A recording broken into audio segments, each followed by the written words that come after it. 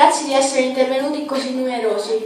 Non facciamo uno spettacolo teatrale, ma vogliamo ricordare la guerra Orsogna. Il modo è semplice e originale. Non dobbiamo dimenticare che siamo dei bambini e non vorremmo mai vivere esperienze né ascoltare racconti così crudeli, così sbagliati come le guerre.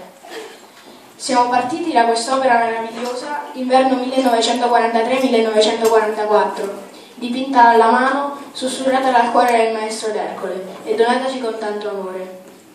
Pensate, tutti i bambini che avranno la fortuna di frequentare questa scuola la potranno ammirare, interpretare e raccontare.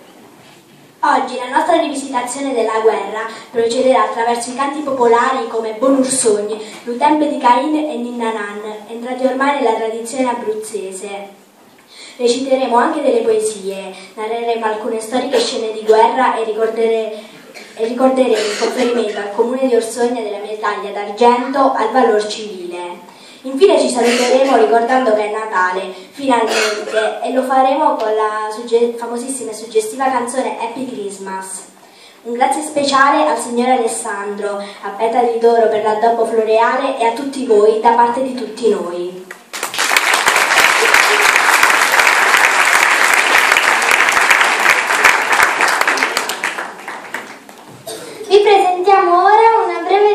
Ricostruzione storica dei momenti salienti e drammatici degli avvenimenti dell'inverno 1943-1944 a Rossogna.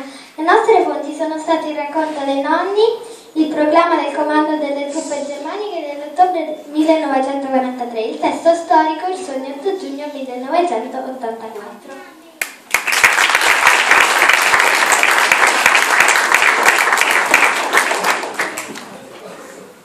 Guerra d'Orsogna. L'autunno del 1943 il fronte si avvicina ad Orsogna. Orsogna si trova in una posizione strategica, in cima ad una collina sulle rive del Moro. Perciò i tedeschi decidono di fermare l'avanzata dell'esercito anglo-americano proprio ai piedi del nostro paese. Il 25 ottobre 1943 il comando delle truppe germaniche ordina lo sgombero della popolazione di numerosi paesi, tra cui Orsogna.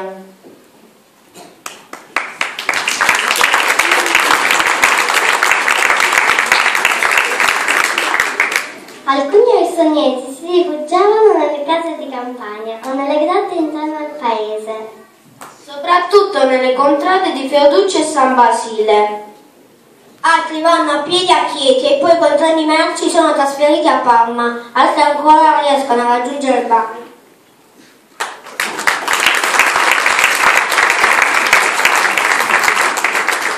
Nel dicembre del 1943 fa molto freddo, c'è la neve. E gli orsoniesi nascosti nelle grotte escono soltanto per procurarsi del cibo. Pane, figli secchi e grano bollito.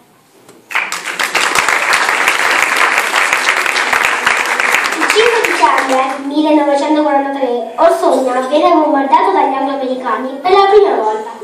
Nei giorni seguenti seguiranno altri bombardamenti. Molti orsognesi muoiono per le bombe, per le mine e per le malattie. Grazie alla posizione, alla posizione, favorevole, i tedeschi resistono agli attacchi dell'esercito anglo-americano. Solo l'8 giugno del 1944 i tedeschi furono sconfitti ed abbandonarono Orsogna.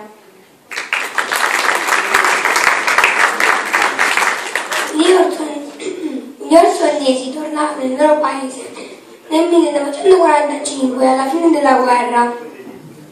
Ma trovano un paese distrutto,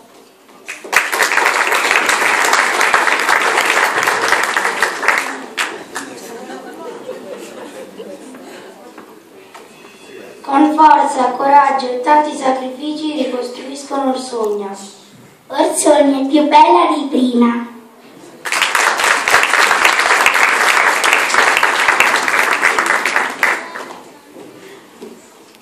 Per questo, il 5 dicembre 2003, il Presidente della Repubblica ha conferito al Comune di Orsogna la medaglia d'argento al valor civile, con la seguente motivazione.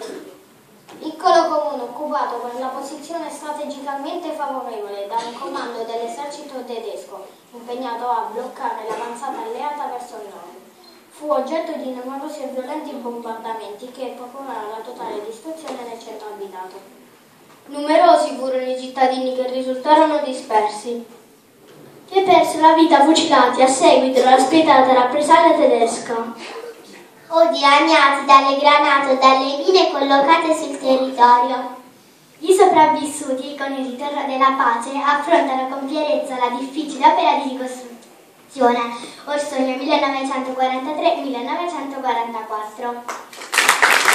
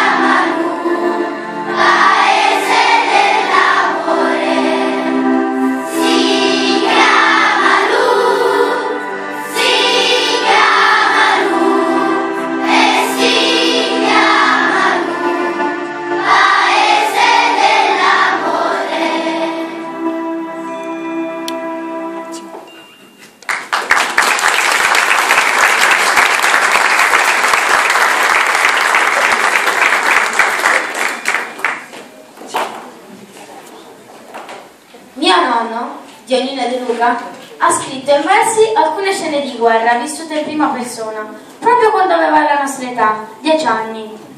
Pensate, gli occhi di mio nonno e di tanti bambini, come lui, come noi, hanno visto i tedeschi rubare, distruggere, umiliare. Più vedevano la sofferenza, più ridevano. Più vedevano dolore, più si rallegravano. Noi siamo qui per recitare la poesia Maledetta la guerra e per ribadire che noi siamo fortunati. Grazie nonno.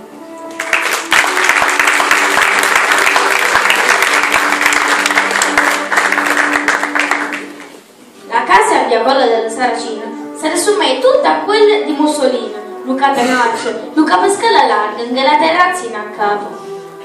Tra le grotte e la cucina ci discendevano persone, una ventina. Non belle io in Santa Pace mangiavano, quando sono arrivati tutti tedeschi, tutte armate. Ha guardato Caterina e Giuseppina. Domani avete venuto a Silvatano. So- che tenete andato l'onore. Caterina, zitte, domani non avessi sci, a dormire in sta. Togliendo l'ingegnere abbiamo, la patria maledetta Caterina. Quante soldi sono detti ieri mattina? E lo spittiglione gli ha dato anche la mangina. Lu tedesche a padre mi sarei mutata e uno schiaffatone alla faccia e ammullata. Niente un pallone lo cappello si è alzato e niente un paracaduto ha ricalato. Allora lo soldato si è allontanato quando ha visto padre mi ha arraiato. Io mi sono messa appresso le pedate e sono attraversato tutta la vallata e la casa di un milionario sono arrivato. A molte per la figliata sono arrancato e dentro la cucina sono guardato. Stu tedesco ciò per stu doppiate che lo patente del buscino ste bracciato. Lo tedesco cuciniere mi ha osservato, ha uscito fuori e ha pretato ma acchiappato. Mary, piatti piani piani e avete la casa soripiata. Il buschetto di Ciamaicone, non, non rimuretto con Benettone, salezza delle lecchie, andiamo caro, facendo segni della croce della mano. La pecora che non montone stava. Di lo strilli che si è dato, allo fosse a balle se ne è scappato. Madonna me, fa Maria la casa. Quando alla casa sono arrivate, sono trovate zimile tutte sudate. Singic, so dite, che si è fatto? Li ti disco, tutto lo porcio s'ha mangiato. Nipota mia, bella grotta e tornata, e lo porcio sono nascoste in zaccato. A pantalone della cardina, li ti disco, lui una testa, un'altra volta stata, una bella vacca sapiata. All'ume della live l'ha attaccata. Gira di qua, gira di là, sfuriata. La rotta si è sfurnata e la vacca lo fossa se n'è cascata. Li ti disco, la parte, grande, e la vacca lo porcio s'ha mangiato. Bravi.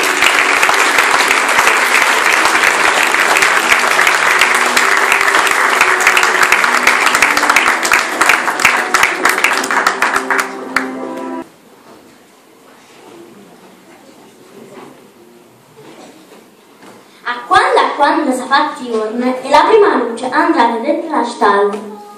Un bambinello con l'occhio incicalito si guarda intorno intorno e dice Che freddo mamma mia, che mare pare, che freddo mamma mia, che mare scale. Fime, l'Ilene gli barare e questo per cattare. E l'asino, hanno finito? Porta la mitraia sopra lo campo di battaglia. E l'uomo? Quel l'hanno mandato al macello. E ne immagino, almeno qui l'arriva. È impossibile perché non ci sta la stella che li va a niente. La stella non uscì, non si fida, di paura di cacca parecchio. Allora lo bambanale di Luca sbottiti e addumanda. E a dove finito? Tutti quelle cafune che l'anno passato mi ha portato tutte quella roba. Guarda, invece, niente da niente. Manca un sacco di polente, manca una fuscella di ricotta. Fime, le gente non ci sta manca uno. Tutta la guerra l'hanno mandata, tutto il campo di battaglia a combattere. La man che somminava l'uran che servava per mancare la terra, muove tu prete solo piccini della tra gente. Guarda Luca Bal, si vede le lampe dei bombardamenti. Li senti, fima, chi dice i libri, li senti le cannonate che spacca la terra. Sul giorno di Natale, così amare, la mamma di Dio s'aspetta un figlio al cuore, e sta asciugata l'occhio di un fasciatore. La lacrima amara perché nasce una lacrima dolce che muore. Bravi.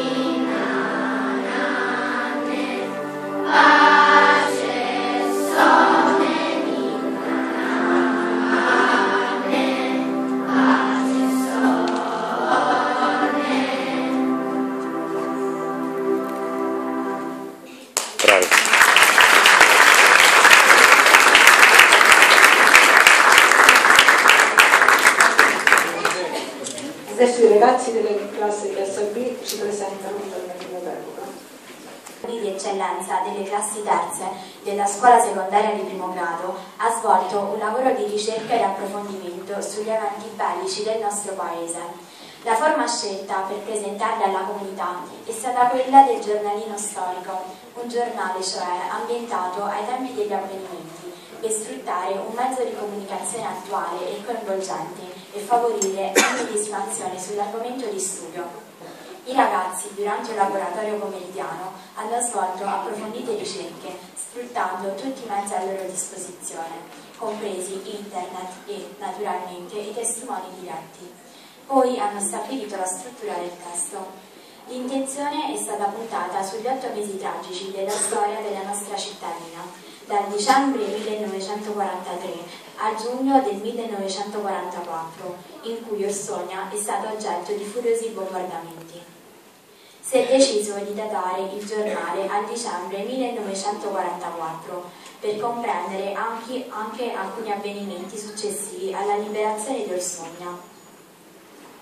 L'articolo di apertura riguarda proprio la liberazione del nostro paese, avvenuta l'8 giugno 1944, ad opera di un gruppo di paracadutisti della divisione Nembo. L'articolo di taglio basso racconta il tragico spettacolo che si presentò agli occhi degli orsognesi al momento del rientro. Negli articoli successivi gli alunni hanno ricostruito sinteticamente gli avvenimenti della seconda guerra mondiale, a partire da luglio 1943, per inquadrare le vicende della storia locale e il contesto della storia mondiale. Si parla dunque dello sbarco all'alto in Sicilia, che ha portato la guerra in casa, e della formazione della linea Augusta, la linea difensiva tedesca che tagliava in due la penisola dalla, dalla campagna fino ad Ortona, passando purtroppo proprio sul sogno. Si passa poi a trattare gli avvenimenti della storia locale, partendo dal 25 ottobre del 1943, data in cui gli abitanti di Orsogna ricevettero l'ordine di evacuare il paese, in vista dell'arrivo del fronte di guerra, dando via così al tragico esodo chiamato scollamento. L'articolo seguente cerca di ricostruire con l'aiuto delle fonti le uniche due battaglie che si sono svolte nel nostro territorio, gli infruttuosi attacchi portati contro la postazione tedesca da parte del 24 battaglione neozelandese, che attaccò in vano il 2 e il 15 dicembre 1943, la prima volta dalla via per Lanciano, la seconda dalla via Portonese. Gli articoli seguenti hanno avuto come obiettivo quello di ricostruire le vicende umane. Grazie alle testimonianze dei protagonisti di questi eventi si è tentato sinteticamente, a causa della struttura del testo, di presentare alcuni episodi della vita degli sfollati. I redattori hanno rivolto l'attenzione anche ai nemici che hanno combattuto sul nostro territorio per scoprire che erano ragazzi noi, spaventati e anch'essi stanchi della guerra. Nelle ultime pagine si parla dei nostri eroi della Resistenza, Aldo Marinucci e Rocco D'Angelo, e di alcuni personaggi famosi che hanno trovato rifugio del sogno prima dello scollamento. Il famoso allenatore di calcio Mr. Garbutt e Mariussa Gisburg, sorella dello scrittore ed antifascista Leone Gisburg. Il giornalino si chiude con una bibliografia essenziale per dare modo a chi volesse di approfondire gli argomenti trattati. Grazie dell'attenzione.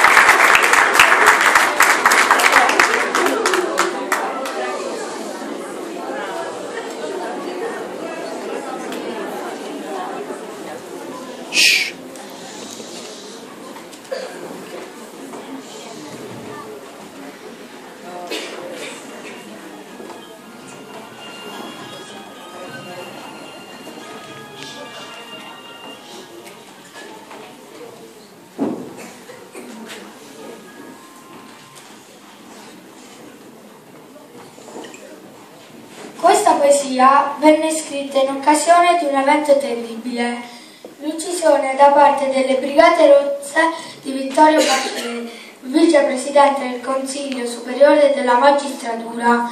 Era il 12 febbraio 1980, si trovava, si trovava all'Università La Sapienza di Roma. Questo signore trascorreva spesso le sue vacanze ad Orsonia perché la moglie era originaria di queste parti. Questo canto serve per ricordare il suo sacrificio e la sua persona, ma anche lanciare un richiamo, un messaggio, affinché vi sia la pace e non si pratichi la guerra, perché si veda di fronte a noi un fratello, non un nemico, qualcuno da amare, non da uccidere. Solo crescendo nell'ottica del dialogo, dell'accoglienza e della solidarietà si conquista la libertà. L'Utempe di Caino ci insegna proprio questo, va educate l'intenzione del cuore e il ragionamento dell'intelletto alla pace fin da bambini, così da crescere in un orizzonte di libertà e possibilità di vita per tutti. L'Utempe di Caino. Quando eri quattrarelle, la fezza e la caiola stringeva tra le mani, sole per pazzia. E dentro la caiola l'uccello ci teneva. La povera bestiola chiude putevola. Sento ancora le parole di tata che mi diceva Nili chiuda sta caiola, nili accide sta bestiola, dagli la libertà, falle volare. Mo tutte seccagnate, le mitre di pistole si stringe tra le mani, ma non per pazzia. S'accidono cristiani, non si sa perché. Lo tempo di Caino, ma quando da durà? La persona nell'uccello, motatoni i dicessi, ne li vide il fratello, ne l'accide per pietà, dai la libertà, falle campà. L'autore della poesia ricorda il tempo quando era bambino e ripensa ai giochi della sua infanzia. Andava per i boschi con la sua fionda una gabbietta in cerca di uccellini da catturare, poi li intrappolava e li portava a casa. Ma il nonno lo aspettava sempre e gli suggeriva di liberare l'animale e farlo volare e continuare a vivere. Poi il poeta ritorna con la mente al presente e pensa che oggi tra le mani non ci sono più semplici divertimenti. Ma armi che portano al male all'offesa reciproca fino all'omicidio senza motivo e senza senso, come era successo tra Caino e Abele. Si pone allora una domanda. Questo tempo di odio, ma quanto deve durare? Fa allora un paragone tra l'uccello e la persona e subito gli appare dinanzi l'immagine del bisnonno Tatone che nella sua saggezza gli parlava dell'amore tra fratelli e del valore della vita umana. Non uccidere, ma al contrario, ama, dagli la libertà di vivere. Questa poesia è un inno alla vita, all'amore e alla pace. Serve a ricordare che non basta che finisca una guerra per riportare la pace, occorre lavorare ogni giorno per educare al rispetto della vita in ogni sua forma. Non si può eliminare la violenza con la violenza, la pace inizia nel cuore di ciascuno di noi.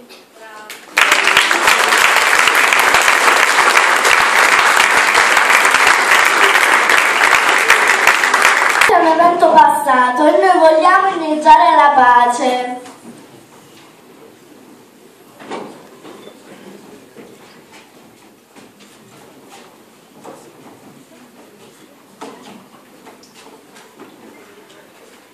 Ho dipinto la pace, avevo una scatola di colori, vivi, decisi, vivi e accesi. Ma avevo una scatola di colore, alcuni caldi, altri molto freddi. Non avevo il rosso per il sangue dei feriti. Non avevo il nero per il pianto degli orfani. Non avevo il bianco per le mani e il volto dei morti. Non avevo il giallo per la sabbia ardente, ma avevo l'arancio per la gioia della vita e il verde per i germogli e i nidi. Celeste dei chiari, cieli splendenti, rosa per il sogno e il riposo, mi sono seduto ed ho dipinto la pace.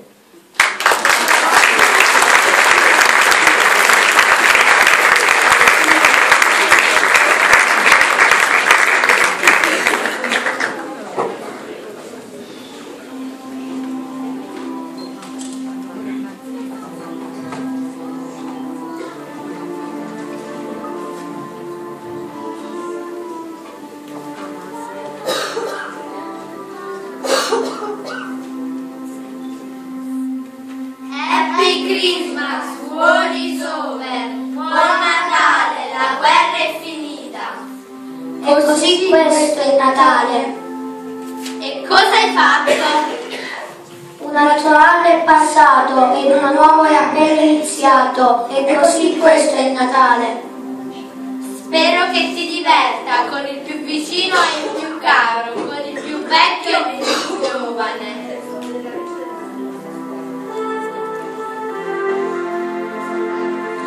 Merry Merry Christmas!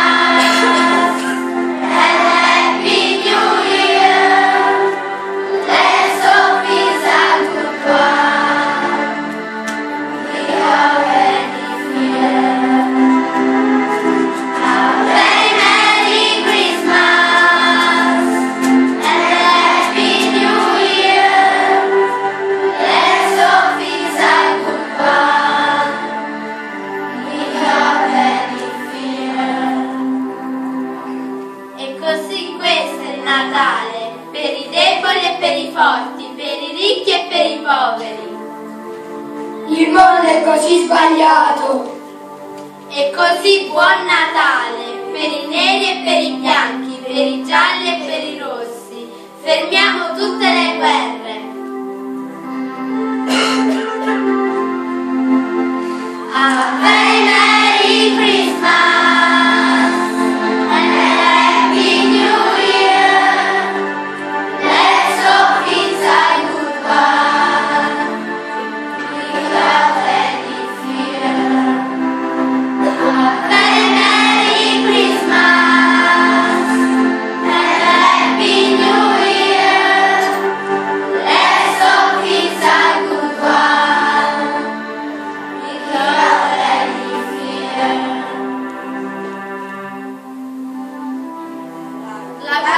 finita se lo vuoi, la guerra è finita adesso.